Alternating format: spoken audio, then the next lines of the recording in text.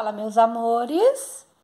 Aqui nós temos as respostas da atividade número 1 do exercício 1A.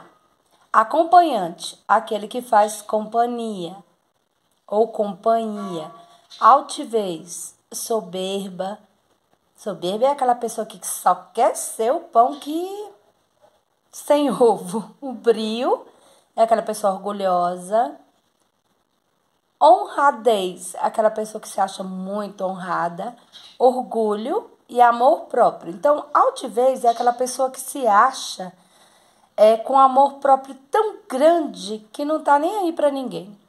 Estimação, ato ou efeito de estimar.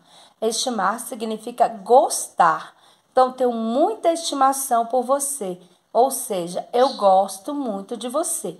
Estonteante é algo que tira o juízo de alguém, deixa você meio tonto de tão bonito que é. Então, quando fala que uma mulher é estonteante, quer dizer que ela é tão bonita que chega a você ser de tontura. Indagar é a mesma coisa que perguntar e questionar. Então, estou te perguntando alguma coisa, estou te indagando. Modéstia é simplicidade.